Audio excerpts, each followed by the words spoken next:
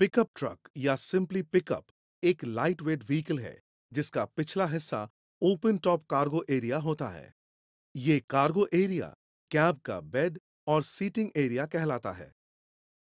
ये दोनों areas separated होते हैं।